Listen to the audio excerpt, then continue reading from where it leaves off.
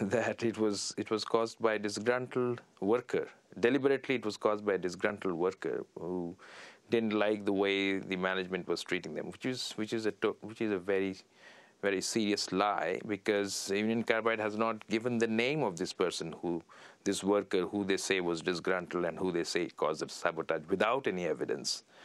The other thing that Union Carbide has done is uh, try to bring down the damage, downplay the damage that was caused by flying in well-known uh, known professionals like Hans Weill, who had fudged X-ray pictures to protect uh, Johns Manville in the asbestosis case. So Hans Weill was flown in, Dr. Hans Weill was flown in, and he said, no, there's no problem. And the third thing that Union Carbide has done is to flex its muscles and basically try to try to scare people against that. Like the time when the case was sent back to India, Union Carbide said that they would cross-examine every single person who claims damages in, for, for the disaster, which meant they would have that each of the over half a million people would have to come to court, which would take more than 1,500 years. And since 92, when Union Carbide was declared an absconder from justice, a fugitive from justice, what it has done is that it continues to um, refuse to obey the summons from the Indian court, and it's just not going there. And yet it continues, we know that it continues to do business through its current owner, Dow Chemical. And Dow Chemical took over Union Carbide in 2001.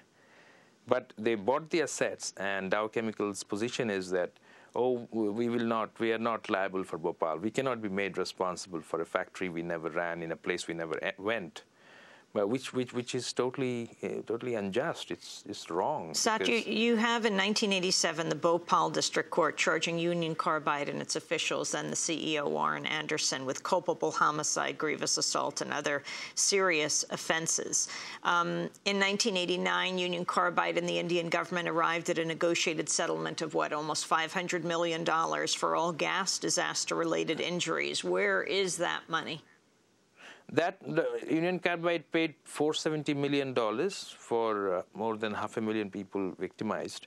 That money has all been distributed. Every single penny from that money has gone to the victims. It has been done by the Indian government.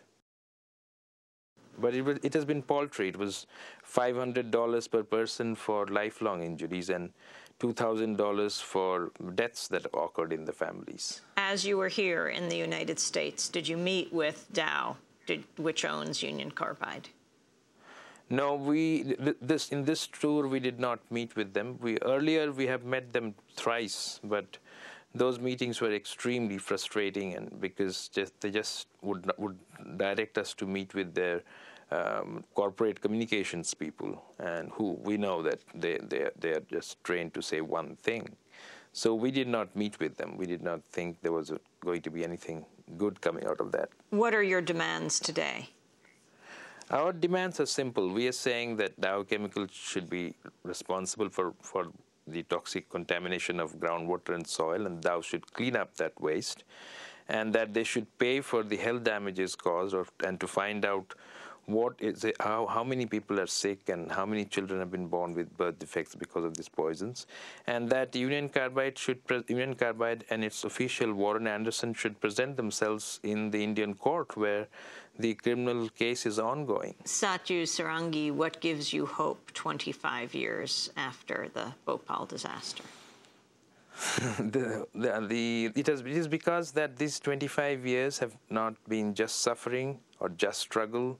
It has been also been filled with so many victories, small and large, by the, by the people who have nothing and who have all odds against them and who are fighting one of the giants in the giant chemical corporation that has these quite obvious support, at least still recently, of the most powerful government in the world, and yet they're winning. So that, that's, that's, that's my hope.